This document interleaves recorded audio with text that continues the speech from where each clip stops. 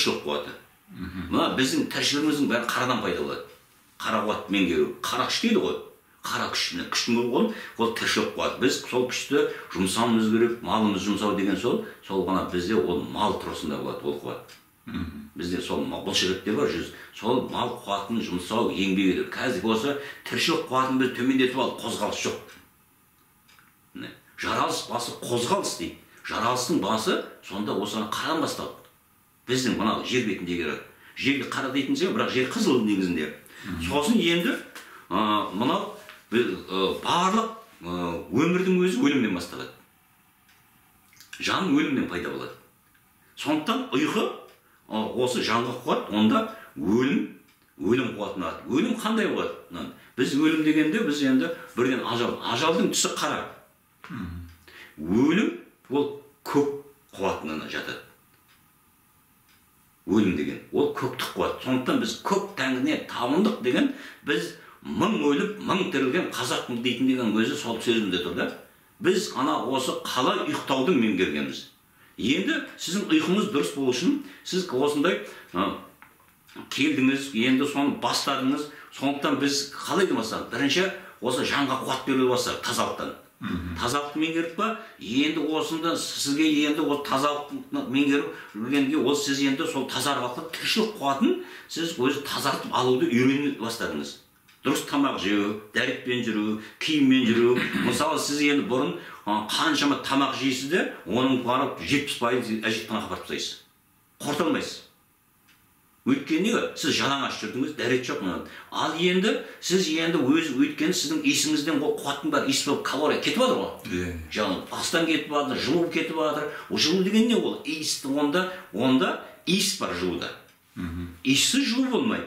Сол сіз иісіңізді жағуды үйрендіңіз. Яғни сіздің тамағыңыз байқадыңыз шектеле бастады? Шектеле Иә, өзгерісін де байқадым. Иә. Мен сіз айтқандай бастадым. Ана ауыз жапқанда адамдар екі рет тамақ ішеді ғой. Иә. кешке болса ішеді таңертең мен қазір кешке ішемін да таңертең сумен ауыз ауыз енді одан байқағаным мен үш төрт сағат кейде ұйықтаймын. Сосын ары қарай ұйқым келмейді. Содан кейін екінші бір жақсылығы. Жүрсең жүре бересің кейде автобус орын беріп жатады ғой. Шарша қуат келеді иә қуат. Міне міне ол не сіз қозғалыс тіршілік қуатын осылай меңгердіңіз. Мына бұл бұны бұны болдырған ғылым ғой. Ғылым деген осы біз қуаттарды меңгеру содан кейін үшінші мына тамақтың дәмін сезе иә. иә. екен. енді сол сонан кейінгі екінші дәреже енді сіз осының бәрі қозғалыс тіршілік қуатын дұрыс меңгергеннен кейін барып сізде енді ұйқыңыз тыныштала бастады. Солай ғой? Енді ұйқы мен сізге ұйқы да қызық. Мен жатсам болды кейбір кісілер айтады мен ұйықтай алмаймын деп. Мен жатсам болды Иә. мен ұйықтап кетемін. Міне міне ол. Таңертең тұрамын тұрамын яғни сіз көкпен жалғандыңыз төбеңізбенен қазір жалаңбас жүреді да оларда мына өлім қуаты жоқ адамда оларда ажал тұрған. Оларда ажал бар да өлім жоқ. Өлім қуатын яғни ұйқыда кезінде өлім қуатын. Өлім қуаты немен байланысты? Ол түс көру біз өлім дегенді ойлаймыз да адам бір жоқ. Өлім деген түс. Менің өмірім бір жаңағы я болмаса бір түс көргендей ғана болды дейді ғой. Иә иә. Енді өлімнің ар жағында өмір бар ғой ол түс. Сол өмірге жалғанасыз да? Сол бастапқы негізгі өмірге. Сіздің қазір көріп жатқаныңыз сол ұйқының кезіндегінің бәрі сол арқылы. Сіз ұйқыңыз дұрысталу арқылы барып енді. Сіз сол өлімді тікелей көруге кірістіңіз. Міне өлімге тікелей жалғанып жатсыз ақыретке жалғанып жатсың маңдай көзбен міне осы ол екінші мына ұйқың. Сосын мына үшінші мына аян аян деген не ол аян дегенді біз енді онша мән беріп көбісі қазір. Мына мазхабтың біліміне байланысты мән беріп аян деген сіздің ата бабаңыздың тағдырындағы болып кезінде меңгерген сондай ол қуаттардың жүйесі ол білім ол ғылым ол аянда әр нәрсе бар. Сіз сол енді сол аяндардың қаншалықты аян меңгердіңіз оны өзіңіздің құпияңыз енді. Көріп жатсыз аянды.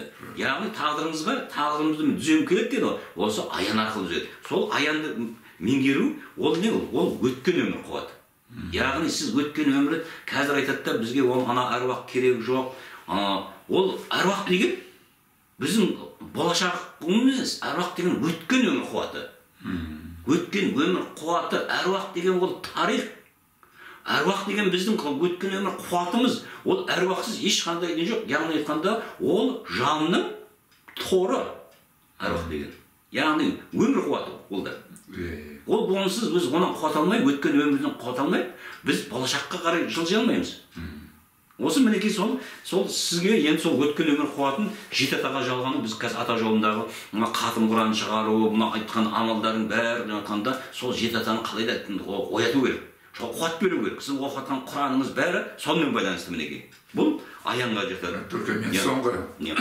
соңғы зікірде көргенде мен айттым ғой мен әкемді көрдім деп. Міне аян ғой енді сол сонда төрт бес кісімен жұмыс істеп жатыр мінекей жаңағыда яғни сізден деңіз қуат алды сондықтан қазір көп қой енді мен қа- елге қызмет еттім деп а, сіздің мысалы деңгейіңіздегі кісілер бар сізден төмендегілер бар. Осындай қаншама қазақтар оның бәрін енді бір а, атадан туған қазақ оны жаман деуге болмайды бірақ оның көбісі мысалы сіздің жасыңызға келіп ол ертерек енді пенсияға шықтың оның да бір несі бар барды да болды енді осымен өмір бітті. Енді қалай да өмірдің қызығын көріп қалу керек деген сияқты қызық тойға анау әртүрлі жаңағы ойын сауықтың соңында кетті. Бірақ содан кейін негізгі өмір сол ақсақалдықпен байланысты басталатынын біз ұмытып қалғанбыз да. Өміріңіз енді келе жатыр. Мен оны әлі оған келе жатырмыз енді айтамын. Сосын енді жанға жанға керек мына ой қуатын меңгеру керек. Білім мінекей ең қазіргі біздің қа- қазақ болсын әлемдегі бар осы қасірет осы ой қуатына пайда болып тұр да. Ой қуатын дұрыс бағытта меңгере алмай жатырмыз оны қалай дейтіні ілім мен білім ортасын таппасаң білім дейді. Ортасында не тұр? Ақыл ой тұр. Ортасында не тұр сол? Ақыл ой деген ол ғылымнан пайда болады.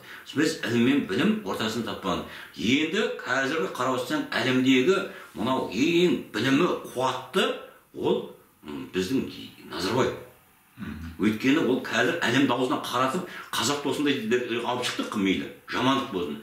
Бірақ ол да ол ілімнің ілім ол таза ілім болмады оны қарама қарсы сөйтті ол ілімнің қарама қарсысын алды. Ол алды ана масхабтың дайын ілімін алды да сонымен ортасы жоқ таразың анау қара жағы басып кетті. Қазір ол ібілістің қақпанына түсті соның қызметшісіне айналды. Ең ібілістің үлкен соның мына қолбасшы ғимаратында назарбаев қазір мінекей сонан кейін қазір оның айтқан сөзінің бәрі өзі қабыл болды да бәрі өзін өзі істеп жатыр енді қарап отыр оған бір та- тағы дәлел кеше енді тоқаев бұл президентіміз айт біз латын таңбасын 25 жылға дейін қоя тұрамыз бұл әлі жетілмеген шынында ол компьютерге ешқандай келмейді оның әлі біз айтсақ қазір халық түсінбейді оны бәрі өйткені біздің осы білімді қауымымыз соны соны енді бір жерде жариялады да бітті барлық жерде қарсы қарсылық халық керісінше қайта жол таңбаларының бәрін латынша аттарын латынша қарсылық білдіріп жатыр ол деген не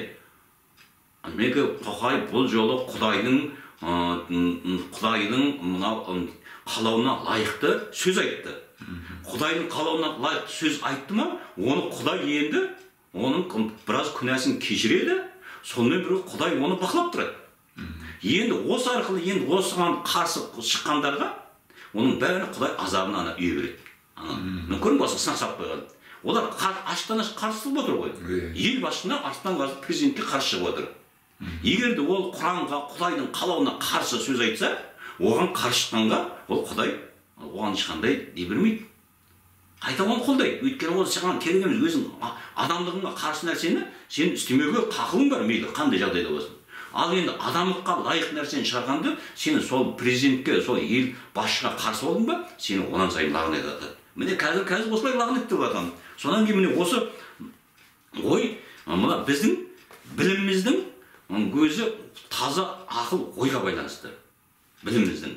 Енді не істейді қазіргі жерде біз мына назарбаевтың ең бір жаңағы несі осы бес қадам деді да міне осы бес қадам осы.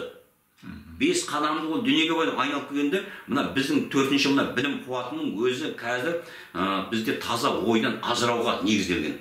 Таза ой жоқ. Ол неге? Ол таза ой қай жақтан пайда болады? Біз таза ойсын мына алға аянды ұйқыны қозғалып тіршілік қуаттарын яғни өлімді бәрін меңгеруіміз керек. Соның бәрін ажыратып тастады міне ажыратқаннан кейін ол таза қуат қай жақтан келеді. Бізде өмір қуаты жоқ қазақта. Біз оны мына оны бір не түрде ә, түрде дін мазхабын көтерді жас балдардың бәрі имам қойды қазақты әруақына өзінің өмірлік тарихына өмір қуатына қарсы қойып қойды айтты ол сенің өмір қуатың саған шірік деп айтатын болды да шірік ол. Сен аллаға серік қостың дейді да. Көрдің бе қандай? Ол ғылымсыздықтан пайда болды содан кейін осыдан барып бесінші мына жүректің қуаты. Қазір қазақ халқында жүрек қуаты жоқ міне. Қазір еркектердің бәрі жүрек ауыра бастады. Қазір жүрек алмастыру керек деген біз сол аздығымыз яғни жүрек немен байланысты ес ақыл сана қуатымен байланысты. Яғни ес ақыл сана қуаты жоғалған кезде жүрек ауырады. Кімнің жүрегі ауыратын болса оның есі төмендеген ессіздіктен ауырады жүрек ақыл жоғалғаны сана жоқтығын енді сол жүректі сана қуатымен емдеуге болады дегенде бәрі біздің ана ғалымдарымыз да ол әлем түсінбейді оны. Өйткені ол сана қуаты қазақта ғана бар. Ол орыста да жоқ. Оны емдейтін. Ол қайақта ол біздің кириллица таңбамызға бәріне жалған байланып тұр арымызға байланып тұр. Ол біздің киімімізге ол біздің дәстүрімізге ол біздің ішкен тамағымызға бәріне байланып тұр. Сөйлеген сөзімізге байланып тұр. Біздің ата бабаларымыздың мына аруақтардың мынаға яғни неге өткен өмір қуатына байланып тұр. Қаншалықты біз өткен өмір қуатын аламыз жалғанамыз. Соншалықты біздің де сол санаға қуат бере аламыз міне. Міне осындай бес мына назарбаевтың бес қадамының қарсысы мінекей. Осы бес нәрсеге бәріне бес қадамды қойған енді ар жағында қазір айтып отыр мына жүз қадам деген шықты ғой. Иә, жүз қадам дейді сосын жеті қыр дейді. Жеті қыр дегеннің өзі соса жеті жанды меңгеру ғой жеті қыр деп. Жеті жермен байланысты мінекей. Осыны мінекей осыны қарсы қазақ халқы өмір сүріп жатырмыз біз теріс өмір сүріп жатырмыз бәрі сосын жүз қадам деген ол тоқсан тоғыз алланың көркем есімі. Алланың көркем есімі қаяқта ол әруақ болып бейнеленеді. Бейнелену керек қой. Не нәрседе бейнелеу? Ол әруақ яғни өткен өмір қуаты болып белгіленеді алланың тоқсан тоғыз есімі. Ол әулиелердің аты. Ол кезіндегі пайғамбарлардың аты. Есімдері айналып келгенде.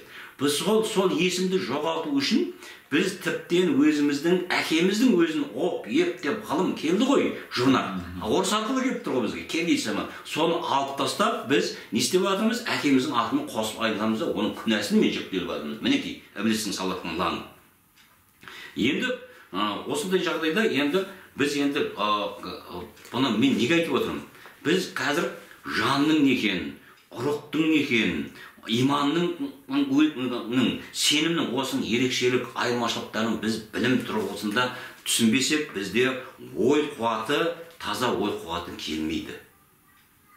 Көрдіңіз ба біз дайын нәрсені өз соны сеніп қабылдауымыз керек. Е мынау дейді сондықтан қазір не істейді ата жолын қазір қарама қарсы соттап қарап жатқан өйткені таза білімді әруақтар арқылы не жаздырды ма? Енді сол кешегі біздің мынау зікірімізге дейік неге дейін үн түнсіз отыр мінекей білімді қауым қарсылық. Оны енді қазіргі тағы бір айтатын мәселе мынау көп жағдайда қазір арамызда жастар жүр. Жастар керек мінекей. Жастар қазір үйреніп жатыр бірақ ә, жастарда айналып келгенде мына жан жан тоғыз жанның мына несі бар да күрескерлігі пайда болады да ә, қаракетшілден гөрі ол күрескерлік пайда мына қаракетшілдік қойды яғни ол қаракет деген не әрекет емес па әрекет қой қарекет деген сол қарекеттік ақыл дейді мынау естің бір несі ол қарекет деп ол көлем әрекет бір нәрсеге байланысты әрекет еттіңіз ал қарекет деген бәрін бәрін қамтиды бәрін қамтиды иә сіздің мына өмірдегі осы қызметіңіз мынау жермен қатынасыңыз өмірге мына үйлендің отбасын құрдыңыз. Осылардың бәрі қарекетке жатады. Өйткені соған сіз, сіз ы, ұрпақ өсіру үшін сол қазақ болып қалу үшін істеген амалдарыңыздың бәрі өзің қазақтың сөйлеген сөзіңіз осылардың бәрі қарекеттің ішіне кіріп кетеді. Қарекетшілдік осы мына қарекетшілдікті жоғалады да көбінесе мына күрескерлік пайда болады. Ол күрескерлік тозақтық жаңғылықтың екеуі көрші ғой. Қателесіп кетеді иә, тозақтық жанға байланып кетеді да сосын тозақ арқылы басқарып кетеді.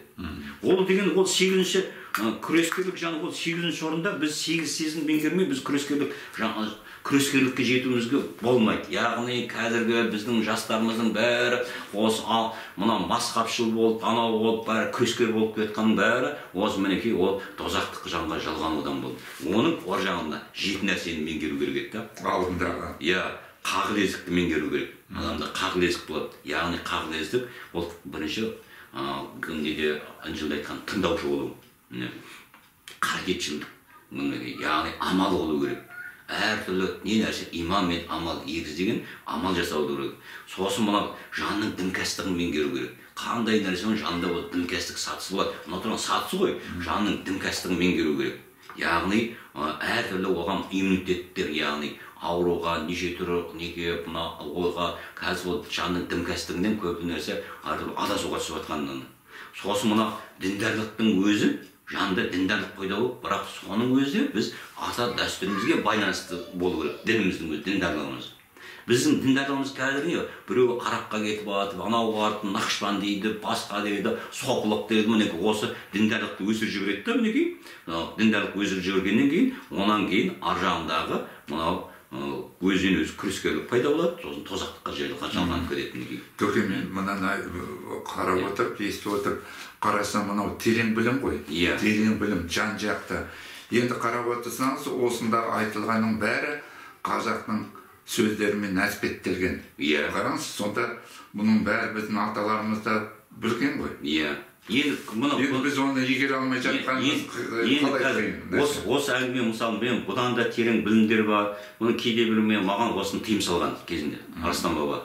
Сен бұл, бұл әңгіме маған ақпарат берді бірақ мына айтпа дейді да бірақ сонда да мен кейде айтып қойсам қарсы шығып ана боқтап кәдімгі ана жастар сөйтіп келе жатады да сен ана серік қосып отырсың өйткені оның да не онда жүрегінде ол әлі мына қарекеті аз ол тазармаған денесінде ана қарсылықтар тұр ана бой өрісі түзелмеген бұның бәрі міне сіздің жасыңыз қазір пайғамбарлық жасқа келдіңіз ғой енді астыңғы міне сіздің қазір міне сізде қазір соны түсіну қабілеті пайда болды.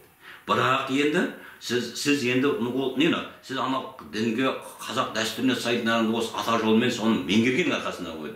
Ал енді сіз сияқты сізден де мықты осы жанында қуаты бар осы ел- осы кезінде прокурор сот болсын басқа болсын ғылым саласында болсын әйтеуір мұғалімдер неше түрлі айту ғылым меңгергендер бар ақын жазушылар бар. Бірақ соларда мысалы сіздегі бар қабілет мына отырған ол ашылмай тұр. Неге ашылмай тұр? Осылардың бәрі айналып келгенде біз мына әр нәрсені мына ба- бас абай атамыз айтқан бас жаралған алдымен қалған дене ретімен дейді да? Міне көрдің ба біз әуелі неден бастауымыз керек? Бірінші бірден ретімен ретімен. иә төменнен бастауымыз керек. міне біз міне әуелі бес алты сатын аттап кеткеннен иә, келмей жатқан тазалықтан бастауымыз керек бір мінекей тазалықтан бастауымыз керек. сондықтан мына бірінші жаңағы ы, содан кейін бар осы бес қуаттың ы, бес қуатты қалай меңгеруді өзіміздің ана өткен өмір қуатымызды алуымыз керек. Мүмкін осылардың бәрін рет ретімен енді бұның бәрін біз енді цифрлап қойып әуелі мынау мынау деп бұның бәрін қалай бұның бәрін енді мен құдайшылықпен меңгереміз. Яғни сізге қай қуатты алдымен меңгеру керек? Сізге қай нәрсе жетіспей келеді қай нәрсе өзіңізде бар? Сіз біз оны ешқашанда мына шариғатпенен немесе айтып кеткеннен сен я болмаса мен қазір мына білім ғой бұл әшейін бұл білім былай жалпы. Мен білім арқылы оны анықтай алмаймыз. Оны не құдайдың өзі көрсетеді сондықтан сендер әрбіріңе жол жоба түсіремін. Біздің қазіргі ең қасіретіміз ең осы құдайшылдық жоғалып кеткен. Құдай туралы ұғым жоқ. Бәрі өздері құдай болып алған мен өйтем мен бүйтем. Сен анау латын таңбасымен не қылсақ біз діліміз көтеріледі. Аналарға болсақ оптық салсақ бір не болады орыстан біз ажырасақ болды біз керемет боламыз дегендің осының бәрі адам өзін өзін тәңірса оның артында құдай бақылап тұр құдайсыз құдай сынбайды деген қағиданы бәрі құдай түсіндіреді мінекей. Біз соған келіп тіреліп қазіргі мына ел биліктің қазір осы жерде халықты мынандай шығынсыз шығыны азбен қазықтыға біз әлем алдына бір екі жылдың ішінде әлемнің алдына көтеруге болады. Бір екі жылдың ішінде қазақ халқы бүкіл қарызынан құтылып әлем алдына шығаруға болады. Бірақ ол үшін не ол үшін мына ел басшылар құдайшыл болу керек. Ел басшылар құдайшыл бірақ өзіне ол бола алмайды өйткені неге сұраныс жоқ. Сұраныс қайда? Мінекей мен сізді осы сізге айтып отқан сіздің жасыңыздағы қазіргі осы ақсақал болатын ә, елге ақыл айтатын мына еркектік сесті меңгеретін ұрықты меңгеретін яғни. Ұрықты меңгеретін еркектердің бәрі етек басты болып кеткен мінекей сіз етек бастыдан енді ғана шықтыңыз мінекей етек басты яғни әйелше ойланып міне әйелше ойлану деген мінекей осы мына тоғыз жанның ана жеке жеке бір несіне неғып кеткен. Сонда ол етек басты болып шығады. Сосын мына етектегі надандық жоқ. Бізді кәдімгі баурап алды. Яғни әйелдеріміздің бәрі етек етегін тастады шаштарын жайып жүр. Енді осыдан кейін мынау мына жан не істейді. Ұйқының кезінде адам тастап шығады. Бұл жерде біз несіне мына ұрықпенен жанды қазір соның бәрін біз нақты оның қызметін оның қуатын қандай жерде пайда қандай жерде зиян қандай жерде дегенді біз соны білімін әуелі жетіп меңгеруіміз керек. Ал онсыз ұрық деген жанды деп біз ана масқан пәлен айыпты ә, кезінде осындай имам ағзам сөйтіп айтып кеткенде онымен біз адасамыз оны біз, біз ұзаққа бармаймыз өйткені неге ол қазақта мына білім бар да? Ал бұл білім бар болмаса мен қай жақтан оны маған айтылады. Аруақтар бұны білгеннен кейін маған сол әулие әмбиелер үйретті ғой. Раббымыздың рұқсатымен. Яғни бұл арабылық білім. Енді бұл арабтарда неге жоқ? Арабтарда ә, қазіргі мына айтады мынау дейді мынау салафизмді ә, яғни вахабизм жеңу үшін ол вахабизм тарихын білу керек дейді. Ол вахаб деген пәлен ана арабтан пәлен деген кісі болған ол осындай осыны қате жасаған дейді да соның бәрін білу керек. Сонда дейді? Иә оны сен сонда дейді сен ана вахабқа сен сонан сенде иммунитет пайда болады дейді. Бірақ ол білім сенде иммунитет онан пайда болмайды. Мүмін мүміндік сенде онда қажет. Сол сияқты салафизм бүкіл әлемдегі қанша топ бар соның бәрін біз соның бәрін үйретуіміз керек дейді да білім. Оның ана зиян қай жағы дұрыс қай жағы бұрыс деп жастарға дейді осының бәрі ақымақтық осының бәрі ақымақтық осы надан жоқ оның тіптен керегі жоқ оның қалай, қалай мысалы мен өзім тәжірибемнен алдым мен енді оқымайтын кітабым жоқ еді да жүрген кезде машинаның ішінде кітап жүреді бүкіл ана бір қандай техника шығып мен күні күні соны айту соны кітабын алдырамын сөйтіп зерттеп жүрмін да мен ата жолына келген кезде маған осыны құранды оқы деген тапсырма әлде құранға дейін құрсам құранды оқып оқып бір уақыттарда менде бір құлшыныс пайда болды өзімнен өзім. Мен оған мына құранды мынаны зерттеу үшін маған физиканы білу керек екен ғой деп. Қайтадан ана сол физиканы оныншы классқа дейін физикаларды алдырттым. И солардың бәрі кітапханаларын алдым математиканы алдым химияны алдым анау. Соған маған сіз не істеп отырсыз? дейді да балдарым да айтады не істеп отырсыз? дейді да ана кітаптардың үйде солармен оқыдым қана формулаларды оқыдым. Сөйтіп барып түсіндім е құран деген бүкіл ғылымның атасы екен ғой. Сонда мен мектептің кезінде дұрыс түсінбеген нәрселерімді кейіннен түсіндім. Қап мынаның кезінде мен білмеген екенмін. Оптика деген не сәуленің сыну деген он осының бәрі айналып сол құраннан шығатынын сонда түсіндім атасы құран екенін сөйтіп соның бәрін түсініп соған келіп тіпті енді менде бір ерекше бір нәрселер оны көре бастадым әлемнің жаратылысын көре бастадым. Алланың елшісімен енді төрт рет кездестім деп отырмын енді. Ол азанмен әр өзінің хикметі бар. Сөйтіп сөйтіп жүріп бір уақыттарда маған түсті. Енді деді сен нені оқы деді жаңағы інжілді оқы деді.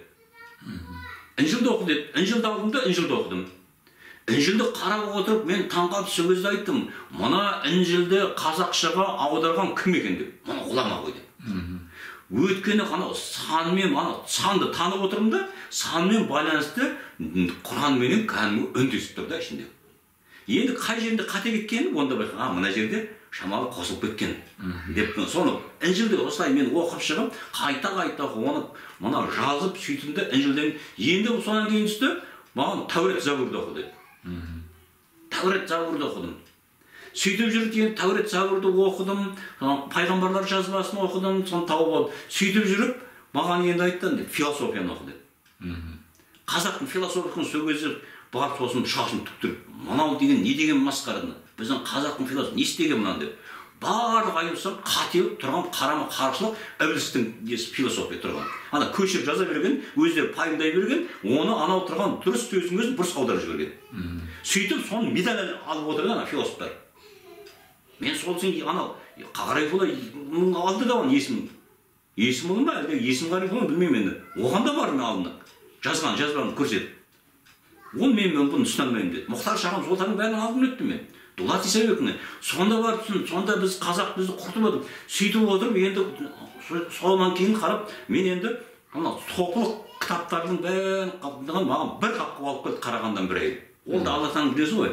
Сонда оны әлемнің сопылық кітаптарын бәрін жинағанда шын деген не соқ деген не сөйтіп отырып мен соның қателіктерін түсіндім да. Мынаның ішінде мынаншама қателік тұр ғой мына әшейін тек басқа ой жүріп кеткен деп. Сонда не сол сөйтсем мен оны неге десем менде құранның үніне жалынған екен құранның үні құранның үні арқылы мен кез келген қазір мен қорықпай оқи саламын да жұрт далаға лақтырып жіберсе мен соның ішінен аламын да керегін аламын сонда абай атамыздың шәкәрім атамыздың жазған бәйшешек бақшасы оның ішінде жылан да тікен де бар сен соның жылан мен тікеннен қорықпасаң онда сен онда сен ә, санамға тойған есексің дегені қазір мына біздің бүкіл қоғам білімнің соңына есекке айналып кеткен да міне есекке айналып кеткен. Өйткені ана ішіне кіріп ол бәрі гүл көре алмайды. Соны гүл бар сонда міне тыйым арқылы сен маған сонда қазір мен тіптен біреулер айтып отырсаң а солай екен деп таң қаламын да сондай болған екен деп. Бірақ мен кез келген салафизм ненің оны қабылдамайды. Енді осыны қазір біздің осы әлеуметтік қауым отырған мына әйелдерге дейін алатын айтқан сөздің анау отырған ақындардың ісіндердің соның қателігін шығарып отыр ғой. Мынау дұрыс емес дейді да. Үн жоқ дейді да. Міне қазақтықта енді келе жатырмыз. Ал бұл не? Бұл деген қазіргі қазір осыған қарама қарсы шығып отыр ақын жазушылар анау отырған мас дінші сопылар олардың бәріне келіп жатқан бұл қасірет. Өйткені неге? Ертең халық оянады да халықта осы қасиет пайда болады өзінен өзі. Біз халықты ояту үшін қазір әрқайсысына білім беру емес. Біз бірінші осы әуелі тазалықты үйретіп біз өзіміз өзіміз неғұрлым сол көп қуат алып өйткені оның бәрібір де оған жаңағы қолдарынан келмейді. Көбісі кәдімгі өзінің басы не қылса жағдай жақсарса қоя қояды да біз мына осындай күрескерлікті арттыруымыз керек. Яғни біз көбірек осындай қуат қосу амалын меңгеруіміз керек. Сол арқылы алла тағала оны нұрыменен мыңға көбейте ме? Жүз мыңға көбейте ме? Ол құдайдың ісі да. Бізді көбейтеді. Міне мен сізге иә сіз мысалы сіз қазір сіз мына ішкі істер органында істедіңіз ана қызмет неғылыңызда сіздің бір жүйеңіз өзіңіз жүйеңіз ол қалды. Ол сіздің кәсібіңіз. Оны өзгертуші жоқ енді. Ол сіздің мамандығыңыз болып қалды да енді сол дәрежедегі тұрған мынау сол дәрежедегі қаншама енді қазақ азаматтар көп қой енді. Енді олар ояну үшін не істейді? Міне сізден көлеңкені өсіреді. Сөйтеді де көбейтеді. Соларға береді менен қоса алмайды өйткені. А енді мен назарбаевпен ба тоғыз ба он шақты рет кездестім мен сол кезде қуанып жүрдім а дұрыс менің көлеңкеме жалғаны ғой деп. Бірақ сол көлеңкеге жалғанған сайын ол ана осы бес қадам жүз қадам жеті қырдың бәрі сонан пайда болып жатыр өйткені ол оны жаңа тұрған ана қаралық оны шығармай тұр оның әйелдері оның қызы оның ұрпақтарының бәрі сол қаралықпен дүниемен кәдімгі байланып қалған. Олар әкесіне мысалы дариғаның әкесіне олар әкесін құртып отыр олар. Бауыр жеп жатыр жалаңаш жүріп қалай осылай жалаңбас жүріп әкесіне мына қыз деген өріс қой. Қайта әкесінің қуатын тазартып сол құдалардан қуат қосу орнында құранның құданың бәрін арасын үзді мінекей. Осындай құда мыңжылдық деген. Мына құдалық байланысы болып жатыр ақыреттік байланысы болып жатыр жандық байланысы болып жатыр біз осыны кәдімгі бір ана әруақ деген ұрық дейді. Ақымақ соны айтып жатқан сіз соны ұрықты қандай екенін көрдіңіз? Ол от екен. От деген не ол сөз. Міне міне соны алланың елшісі айтып кеткен. Білім екі түрлі болады деген. Біреу діл білімі болады біреу тіл білімі болады деген. Қазақ деген бір тілдің от бір тілдің су. Абайлап сөйле қазағым діліңді бұзып алма деген. Міне біз ұрықтан қуат алып сөзімізге қуат аламыз. Міне ұрық сөз мінекей. Сосын мына неден ділден қуат аламыз. Сонда біз жерден қуат аламыз тілден қанша дегенмен де біз алланың елші бізге адамзатқа ортақ ә, негізінде ол арабқа түсті. Сондықтан біз араб тілін білген осының бәрі ақымақ та ол өйткені алланың елші ділді ең жоғарғы орта топқа шығарды. Ділді. Арабтың ділі бір жүздағы қырық үш. Соған алғашқы көтеріп соған шығарған ол алла мұхаммед пайғамбарымыз алланың елшісі. Сол бір жүз қырық үштен қалғандардың бәрі төмен тұр. Соны қуат алып отыр арабтан.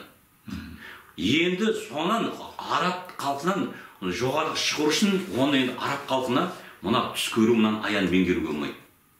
Жаңағы мына біздің деп жатқан қазір біздің дәстүріміз көп нәрсені арабтарға меңгеруге осы уақытқа дейін болмайтын болды. Себебі неге?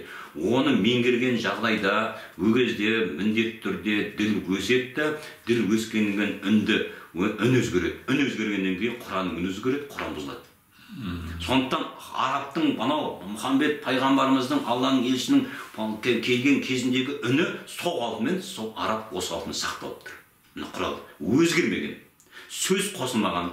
Ал енді қазақ халқында енді ол қазақ мына иран бар бәрі көтеріліп көтерілді де мына ирандықтар бізден төмен тұр. Бізде біз қырық жетіден ең жоғарғы ділдік қуатты қалыптастырған бір жүз қырық жеті яғни қырық жеті санмен байланыстырып негізгі алланың елшінің алған кітаптық қуаттық дәрежесіне көтерген яссауи бабамыз бізде бір жүз қырық жеті. Енді қараңыз мынандай ұғым мына жаңағы айтады да біз дейді бір сөз айтсақ мынау арабта пәлен деп айтылған дейді да соған келіп байлайды апарып. Яғни сол ділдік дәрежеге апарып байлайды да.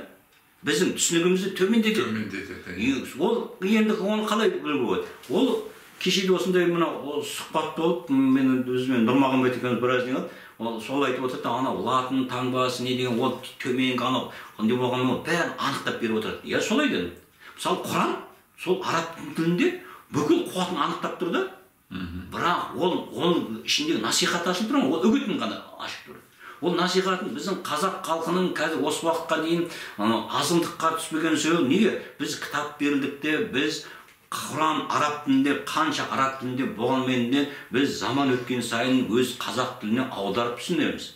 Тәпсірлегенде. Тәпсірледі ғой. Тәпсірлегенде ол тәпсірді алып біз анау отырған бұрынғы отырған осыдан бес алты ғасыр бұрын сөз пайдаланып жатқан жоқпыз ғой. Тәпсірге біз бүгінгі сөз пайдаланып жатырмыз ғой. Бүгінгі заман сөзін пайдаланып жатқаннан кейін ол ана ұғымда жоғарылап кетіп тұр. Арабтың ұғымыменен біздің ұғымымыз жоғарылап тұр. Бөлек болып тұр ғой.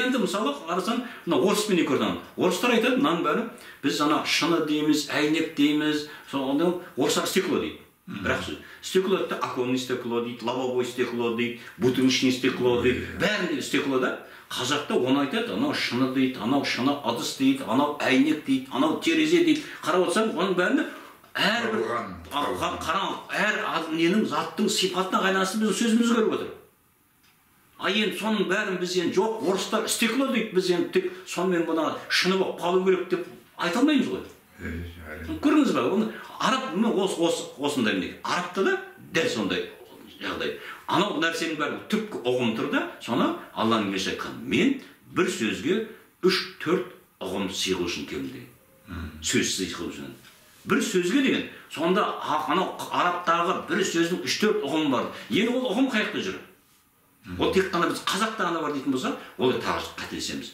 ол сол арабтың сөзіндегі ұғым ол қай жақта болуы мүмкін ол орыста тұруы мүмкін біреу.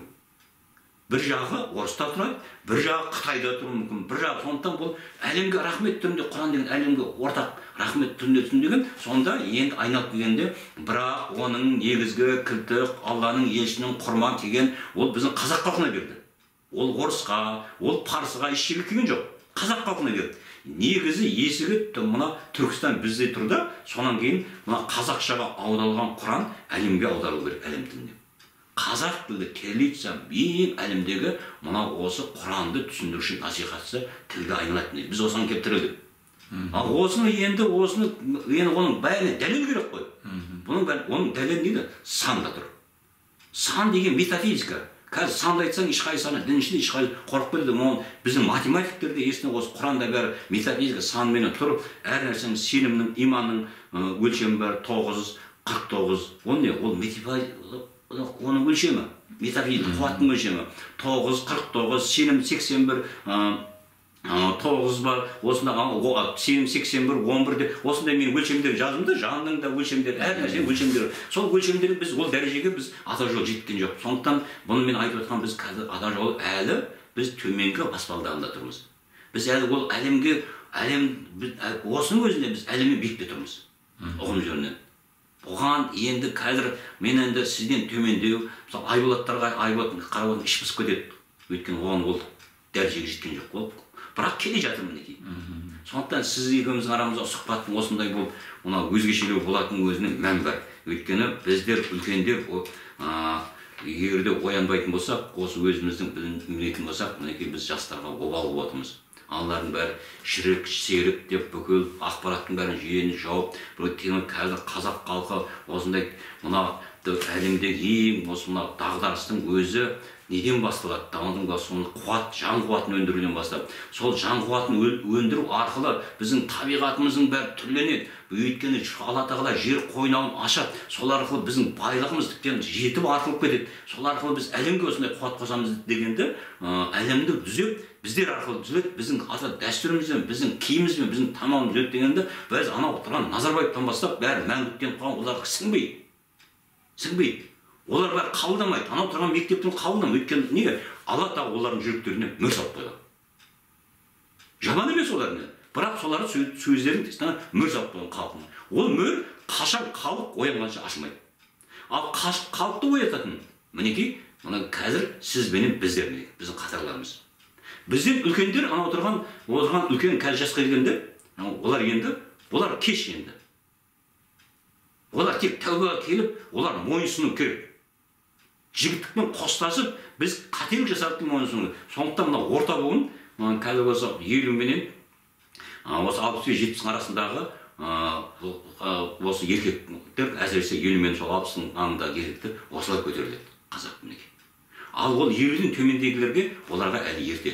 Оларға бірақ сол өзіне заманға осы заманға сай меңгеретін қуаттар біз өлшеп беруге соған біз жәрдем беруіміз керек алда жүруіміз керек. Мінекей қазір қазақтың қасіреті дене тұрып біздің еркектеріміз сесін жоғалтқанынан біз өзіміз ата дәстүрімізден ажыраған бізде адамдық ғылым барына біз осыны өзімізді өзіміз